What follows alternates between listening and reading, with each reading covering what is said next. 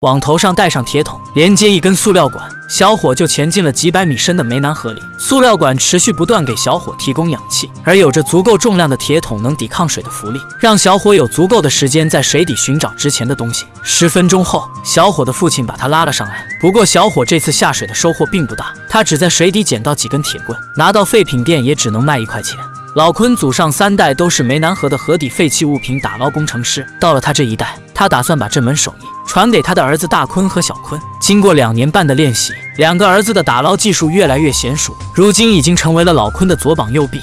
在长达一千多米的湄南河底，隐藏着数不清的废弃物品，有的废弃物品可能是古董，有的也可能是不值钱的鸡毛掸子。因此，老坤一家的月收入也在二百元到数万元之间浮动。运气好的时候，他们一家可以一年不愁吃喝；运气不好的时候，三天能饿九顿。如果运气再差一点，潜进水里再也上不来，就能直接上天见佛祖。经验老道的老坤把船开到寺庙前，这里的水底往往有意想不到的收获。眼看小坤没捞到值钱的东西，老坤决定亲自下水。几分钟后，老坤两手空空的浮出水，他发现泥浆里隐藏了不少小物件，需要借助工具。他让年轻力壮的大坤下水，不一会儿，大坤就带着一盆泥浆上来。